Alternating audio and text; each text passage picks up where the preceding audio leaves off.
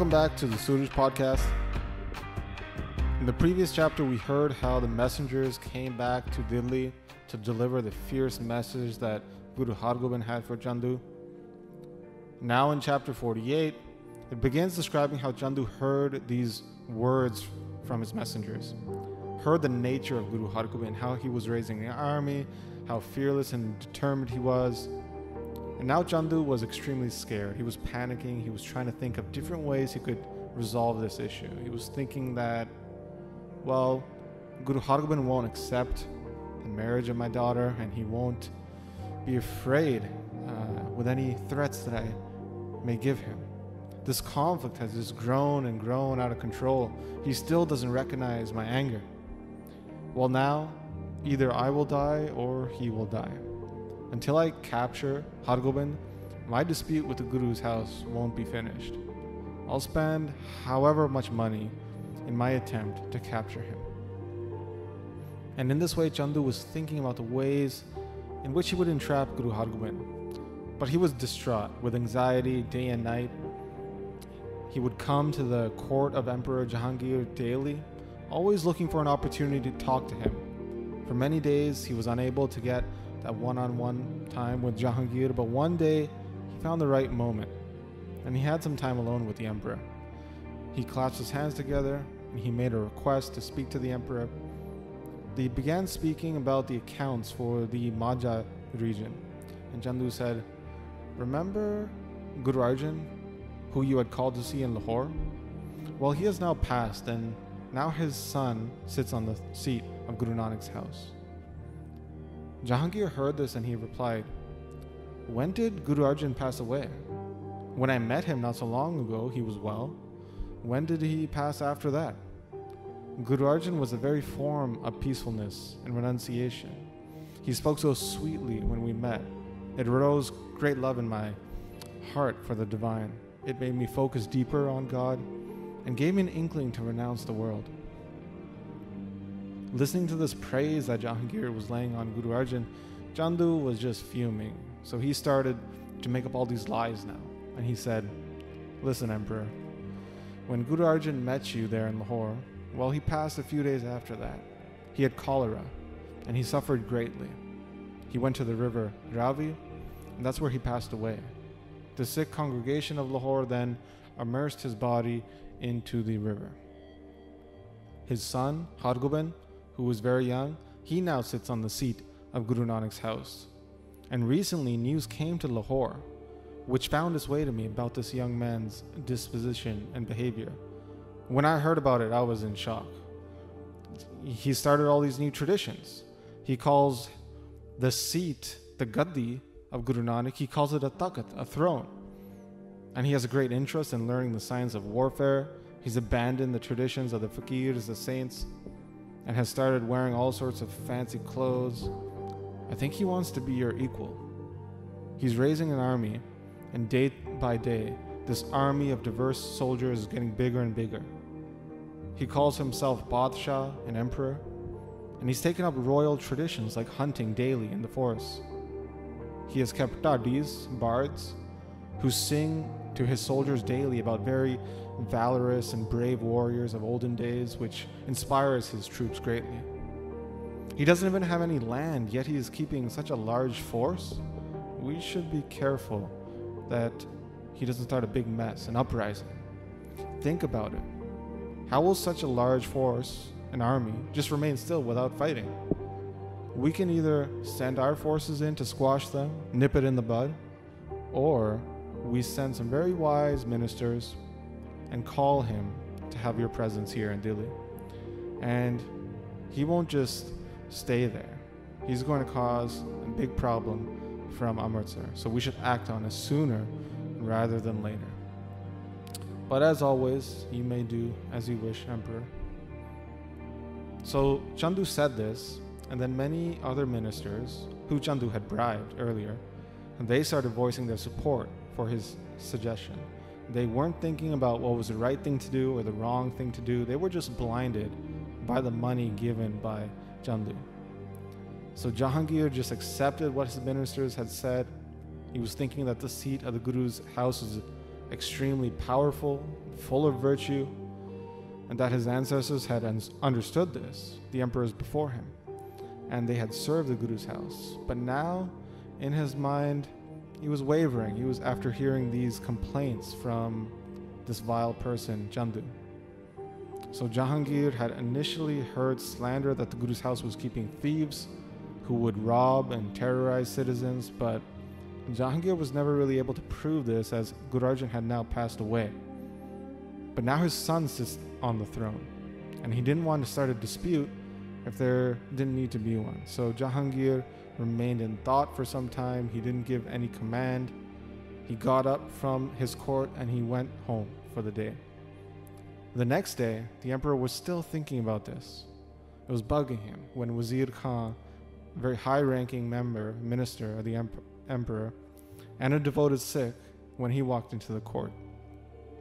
We've spoken about Wazir Khan before on the podcast. He was a Sikh from Guru Arjan Dev Ji's time. Although he served in the Mughal Empire, he was always supporting the Guru's cause, and at every turn he tried to sway the emperor to make the right decision. So when Wazir Khan entered into the court, Jahangir then asked him, said, Wazir Khan, Guru Arjan was such a saintly and determined figure. I didn't hear that he had passed away, and I had just seen him in Lahore. My minister Chandu was speaking very ill of him, but even listening to that, I didn't use force against Guru Arjan Dev Ji. And now I hear of Guru Arjan's son from Chandu, who was telling me that, you know, he's keeping an army, he himself has adorned weapon and is wanting to cause a, a conflict in the region. Chandu told me all of this. So, should I send my force there or should I not? Maybe we could send a very diplomatic person there who can persuade the young guru to come meet me here. If he doesn't want to start a conflict, then he should come here to Delhi and meet me. And if he doesn't agree to this and has other thoughts, well, then we will send a force. So Jahangir had said this to uh, the ministers there. Wazir Khan was there. There's another minister there in the court at the time. His name was Kinch. So both of them clasped their hands together, but Wazir Khan replied saying, Guru Arjan was a benevolent soul. He spent countless amounts of money to build the Amritsar Sarovar, which gives great happiness to Hindus and Toruks alike without discrimination. When he wanted to build a second Sarovar, some ministers had started to cause him some trouble. And every day he serves countless people with his communal kitchen, and at every second he remembers Allah. Some people slandered him, saying he kept thieves, but no one with any good intellect would say or even believe such a lie. Chandu may know of Guru Arjan, but doesn't recognize the Guru's greatness. Guru Arjan did, in fact, pass away in Lahore, but that is in the past. What can we do about that now? But we should look now to his son, Guru Hargobind, who was a great warrior. But he's still very young. He sits on the seat of Guru Nanak and gives great bliss to his servants. The entire world respects and worships him, and the Guru blesses all his servants with whatever they want. Chandu is also really jealous of him as well. And like before, he is slandering the Guru's house. You are the emperor of the entire world. You want the best for everyone. Keeping them safe and sound, you yourself will be kept safe and sound. The entire world praises you, and they wish for your best as well, as do we. So you should want the best for Guru Arjan's son as well. So you should send some fine, really sweet minister, have them talk really softly, request the Guru that they should come meet you in here in Delhi. We must be aware that when we had called his father to come Lahore, however it happened, he had passed away a few days after that. So we have to be careful now with Guru Hargobind to make sure that he does not curse us. Whatever they say, whatever the Guru says, comes true. But you know this all too well.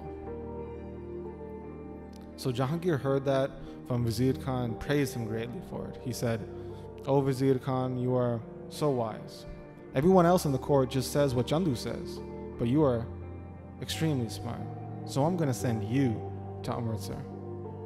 So think the best way to bring Guru Hargobind.